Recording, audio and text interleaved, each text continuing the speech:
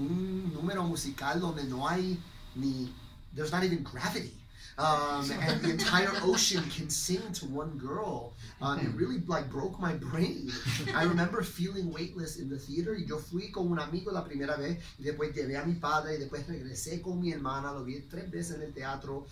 Yo me acuerdo calling in sick cuando salió en VHS porque yo no quería esperar hasta el final del día de escuela para conseguirlo me hice de fiebre para poder comprarlo esa mañana. Um, y, eso fue me, prendió la imaginación. Y, y, después, el próximo capítulo de eso fue cuando vi a Rent, uh, cuando tenía 16, 17, 17, años. Fui para mi cumpleaños 17 y vi el elenco original. Y a mí me encantaban los, los musicales, pero siempre eran de otro época, otro época en otro tiempo.